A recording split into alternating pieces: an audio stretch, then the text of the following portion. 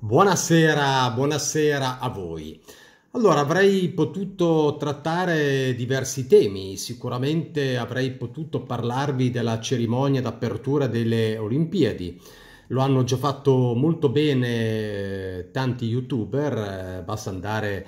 eh, sulla piattaforma e insomma si vedono eh, eh, molti youtuber che hanno commentato quello che è successo ieri sera a Parigi. Vi dico solo brevemente, eh, in gran parte non mi è piaciuto, eh, ancora una volta eh, devono così far vedere delle scene che secondo me non hanno nulla a che vedere con una cerimonia inaugurale, ancora una volta eh, ostentare un certo modo di essere diverso, no? di essere omosessuale, di essere eh, transessuale, di essere tutto quello che volete. Io non, non ci trovo francamente una ragione di una rappresentazione che spesso è eh, volgare, spesso sono eh, nella migliore ipotesi ridicole, e, e spesso appunto eh, sono impresentabili. Io avevo deciso di guardare eh, la cerimonia d'apertura con mia figlia che ha dieci anni, eh, devo dire che eh, in parte me ne sono pentito, ma ripeto, non voglio addentrarmi eh, in questo eh, commento delle Olimpiadi, ma eh, voglio parlarvi dei Maneskin. Io francamente vi dico che non li avevo neanche più presi in considerazione anche perché insomma erano un po' eh, spariti così dai, dai, dai radar. Eh, così avevo ascoltato ogni tanto le polemiche che ci sono, eh, sapete che ormai è, è, mesi e mesi che si vocifera una separazione tra i vari eh, componenti e in particolare che eh, Damiano dovrebbe eh, tentare la carriera da solista. Ma questo secondo me perché eh, loro sono clamorosamente in calo. Ma vedete, eh, non perché lo dico io che magari non sono un esperto di musica, ma perché ci sono molti analisti che lo stanno dicendo, anche giornalisti. Ascoltavo di recente proprio anche Nicola Porro che proprio eh, commentava, la, commentava la parabola discendente da parte dei Maneskin e tra l'altro eh, continuo a fare riferimento a commenti da parte invece di, di, di, grandi esperti di musica anche d'oltremanica negli Stati Uniti che hanno sempre definito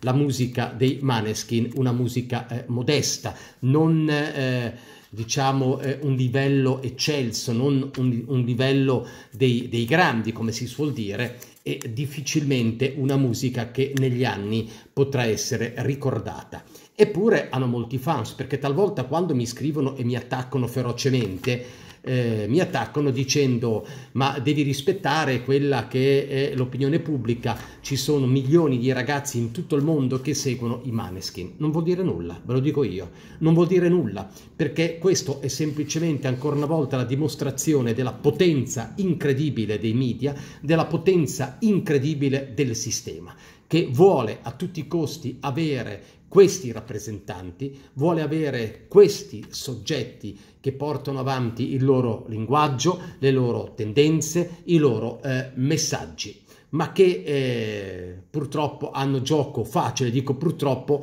perché hanno gioco fertile nei confronti di giovinastri di 15, 16, 17 anni che eh, semplicemente perché tutti i giorni eh, vedono o ascoltano alla radio i, i, man, i Maneskin se ne sono innamorati. Qualsiasi altro eh, soggetto simile con poche doti come sono quelle dei Maneskin avrebbe fatto successo perché eh, sono appunto eh, i grandi, eh, quelli che si occupano eh, di, mm, di, di, di, così promulgare la musica, quello di portare avanti eh, la musica di tutto il mondo che decidono se tu eh, devi avere successo o non devi avere eh, successo. Quindi, eh, ripeto, è quello che eh, avevo detto sin dagli inizi, dagli esordi dei Maneskin, che secondo me